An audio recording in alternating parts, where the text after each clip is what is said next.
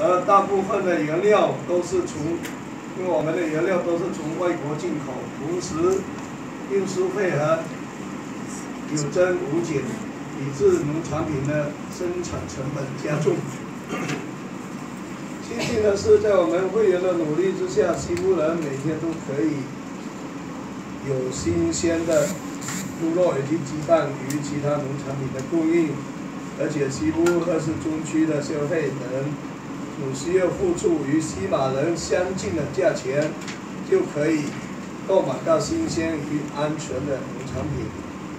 然而，在我稍稍的情绪业者又付出比西马情绪业者比较。